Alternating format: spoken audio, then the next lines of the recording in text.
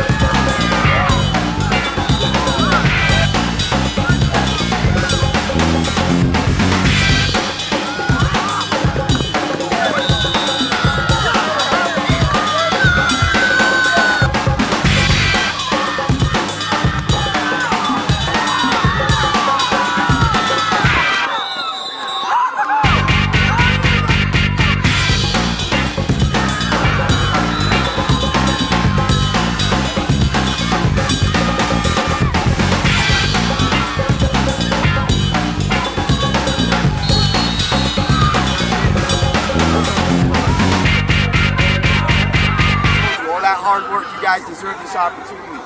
All right, and it came through tonight. All right, we'll have a lot more time to talk about that because we're going to see you tomorrow at practice. Let's go! Yeah! Yo, I got this. What's up, baby? Family on three. One, two, three. Family. How good does it feel to have something so, you know, possible to, you know, make states and keep going? Oh, it feels real good. It feels real good. We had we had made a plan. We wanted to go to states oh and have have that goal to go to states this year. So it's like an opportunity. It's like a great, great opportunity for us. Thinking back to this group of seniors when they were freshmen, um, you know, they were able to experience it firsthand. You know what it meant to go to the states. So that's been a goal of theirs, um, and they put in the hard work. You know, I think we've done enough this season to earn, to earn that spot. It's gonna be great. We, we just love the experience. We haven't went there since freshman year, so we're all of us are psyched. We can't we just can't wait to go to states again. What was it like going there freshman year? It was. It felt like we were going to Disney World. It was amazing. We went all the way to Montville. It was a cold night, so everyone remembers it. Justin here remembers it too. Cold night, freshman year.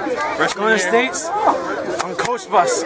Cold coach bus. Well, I mean, it, it was cold. I'll tell you that it was cold, but you know, it's just big for me because uh, freshman year I didn't really get to play. Now I'm a senior, so now I- I'm starting. So it's just amazing. John Shannon compared to going to like Disney World. I don't know about that, but pretty. It's pretty close. Pretty close.